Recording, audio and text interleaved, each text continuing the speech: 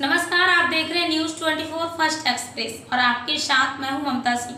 तो चलिए शुरुआत करते हैं आज की कुछ खास बड़ी खबरों से। सीसीएल डोरी क्षेत्र के एडीओसीएम कल्याणी परियोजना के खदान में शुक्रवार दोपहर लगभग दो बजे कार्य के दौरान वॉल्वो पॉकलैंड मशीन पर जलता हुआ मलबा गिरने से पॉकलैंड में आग लगी है, जिससे मशीन ऑपरेटर बत्तीस वर्ष महेंद्र यादव की दर्दनाक मौत हो गया।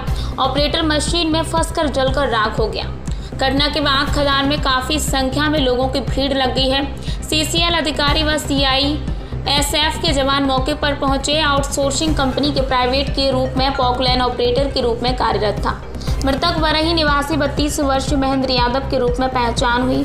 सूचना पाकर सूबे के शिक्षा मंत्री जगन्नाथ महतो पहुँचे और दुख व्यक्त कर हादसे की जाँच की मांग की है। कहा कि सुरक्षा में चूक हुई है, मृतक के आश्रितों को मुआवजा व नियोजन दे।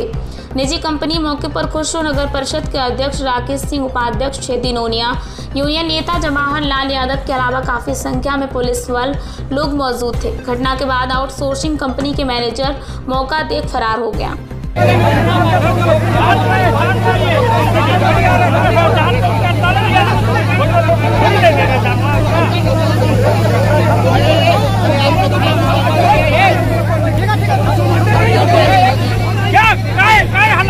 वक्त हो गया एक छोटे से ब्रेक का। ब्रेक के बाद फिर से हाजिर होंगे ऐसी कुछ खास बड़ी खबरों के साथ। तब तक के लिए नमस्कार। हर खबर की अपडेट पाने के लिए आप हमारे चैनल को सबसे पहले सब्सक्राइब करें।